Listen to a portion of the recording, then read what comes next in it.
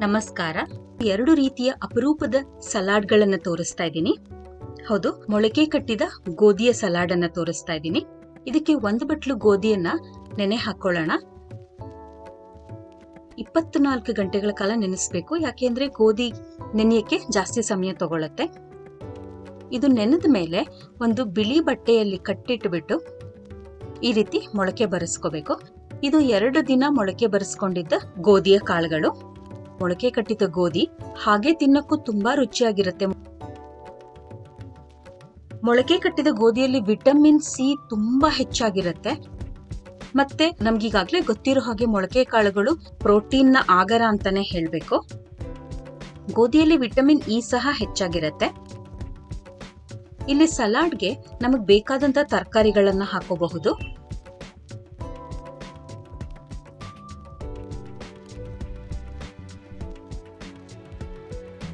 ನಾನು ಸೌತೆಕಾಯಿ ಮತ್ತೆ ಕ್ಯಾರೆಟ್ ಅನ್ನ ಹಾಕ್ತಾ ಇದ್ದೀನಿ. ಮೊದಲು ಸೌತೆಕಾಯಿನ ಈ ರೀತಿ ಸಣ್ಣದಾಗಿ ಹೆಚ್ಕೊತೀನಿ.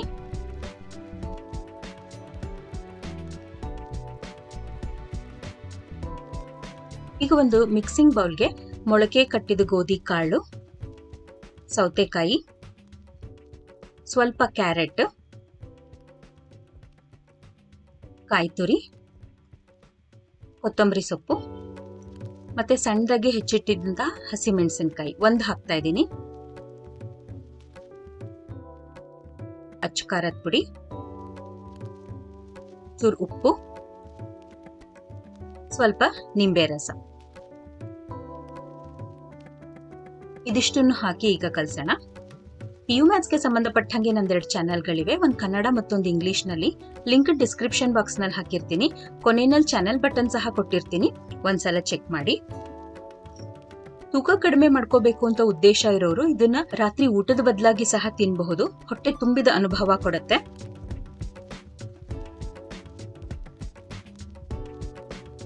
ಮಕ್ಕಳಿಗೂ ಸಂಜೆ ಏನಾದ್ರೂ ಬೇಕು ಅಂದಾಗ ಈ ರೀತಿ ಆರೋಗ್ಯಕರವಾದ ಸ್ನ್ಯಾಕ್ ಮಾಡ್ಕೊಡ್ಬಹುದು. ಮೊಳಕೆ ಕಟ್ಟಿದ ಗೋಧಿ ತುಂಬಾ ರುಚಿಯಾಗಿರುತ್ತೆ. ಇದನ್ನ ಹಾಗೆ ಸಹ ತಿನ್ನಬಹುದು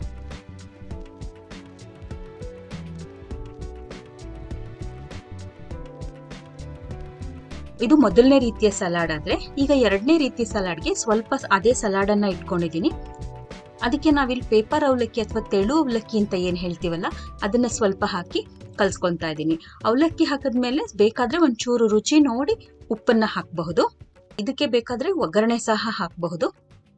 ನಮ್ಮ ಮನೆಯಲ್ಲಿ ಅವಲಕ್ಕಿ ಹಾಕಿರುವ ಸಲಾಡ್ ಅನ್ನ ತುಂಬಾ ಇಷ್ಟಪಡ್ತಾರೆ. ನೀವೊಂದ್ಸಲ ಟ್ರೈ ಮಾಡಿ ಹೇಗ್ ಬಂತು ಅಂತ ಕಮೆಂಟ್ ಮಾಡಿ ತಿಳಿಸಿ.